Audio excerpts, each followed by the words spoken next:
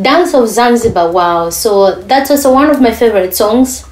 And uh, you know what really, really inspired me to come up with a song called Dance of Zanzibar? It's because I was living in Tanzania maybe for some few years, only two years.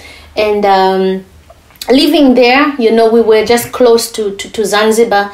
And Zanzibar, of course, it's also in Africa, but also it's a African culture uh, in combination uh, with the Arabic culture also, you know. So they have all this culture together and if you're listening to the music the music that they are playing there's also it has some arabic influences and so this sound for me it became so much interesting to me you know. So every time i'm listening to them playing and they're such lovely lovely people and i'm like wow this is what i want to do in the future. I want to come up with a song that has some sounds like this zanzibar style you know. And i love also arabic music really.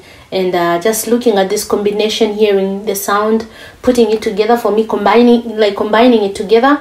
So i had to come up with something very very cool and i wanted it to be like a dance song and uh, you know talking of zanzibar describing how not exactly describing how zanzibar looks like but just the sound. And uh, that's what really inspired me you know. So that's why i named it dance of zanzibar. So i love that.